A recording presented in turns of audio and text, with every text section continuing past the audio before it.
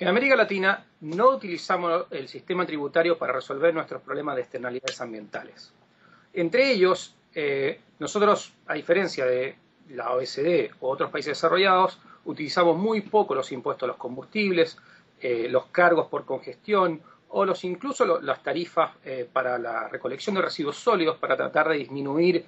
los daños que generan estos males a la sociedad. En este sentido, esta es una oportunidad muy importante para, para, tratar de destacar que utilizando este tipo de instrumentos podríamos, a su vez, eh, recaudar un conjunto de recursos que nos permitirían utilizar para financiar distintas eh, cosas en nuestros países y a su vez eh, reducir todos estos males que tenemos, que, tenemos que enfrentar diariamente, mayormente en, zonas urbanas, pero también en zonas rurales.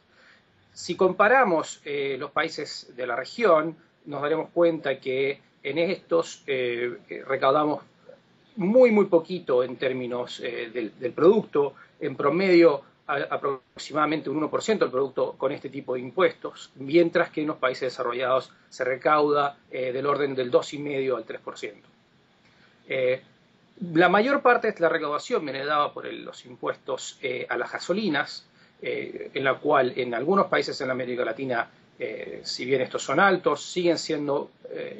por debajo de los daños que genera la externalidad eh, de la contaminación atmosférica, la congestión, accidentes de tránsito, etc. Eh, por otra parte, hay países en los cuales aún se subsidian estos combustibles y por lo tanto el daño es doble. Eh, existe, por una parte, el daño generado por, la externalidad en ausencia de subsidio y además se promueve, dada la existencia de este, un, uso aún mayor al que debería, debería darse. De esta forma, eh, si corrigiéramos este, este tema eh, y lleváramos los impuestos a, los, energéticos hacia niveles un poco más cercanos al, óptimo, podríamos, por una parte, reducir los daños eh, ambientales, los daños en salud, y por otra parte, mejorar también en temas de congestión y, y, contaminación en general. Otra cosa que se utiliza muy poco en la región son los cargos por congestión. Estos eh, cargos eh, que se están empezando a utilizar en, países desarrollados permitirían, eh, con una tecnología que está a la vuelta de la esquina, cobrarle a cada vehículo por ingreso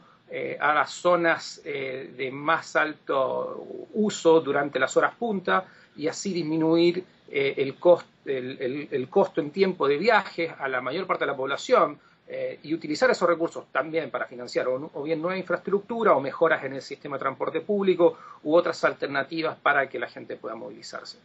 Eh, este tipo de tecnologías hoy en día, con el uso de GPS, con las tecnologías satelitales que tenemos actualmente, ya, ya prácticamente podríamos pensar que en los próximos 10 años debiera ser una realidad eh, tanto en países desarrollados como en, como en, América Latina.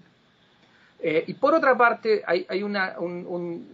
otro tipo de, instrumentos que podríamos utilizar y que han sido utilizados en países desarrollados, como cargos por eh, la utilización de, bolsas de plástico u otras cosas que, tienen un, costo muy pequeño, pero que pueden tener un impacto muy grande. Eh, estudios recientes en, distintos países muestran que cargos muy pequeños en, el uso de bolsas plásticas, por ejemplo, logran reducir eh, la generación de residuos por este tipo de, bolsas y, por otra parte, disminuir los costos de limpieza de, cuencas, de ríos y, eh, en general de, y, otras cosas que tienen que ver con ello, que es posteriormente em,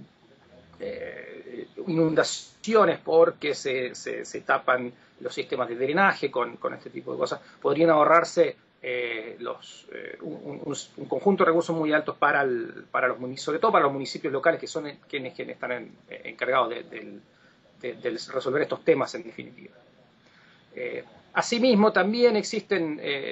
experiencias en Japón y en, otros países desarrollados que buscan promover el reciclaje y para ello podríamos pensar en, cargos distintos para distintos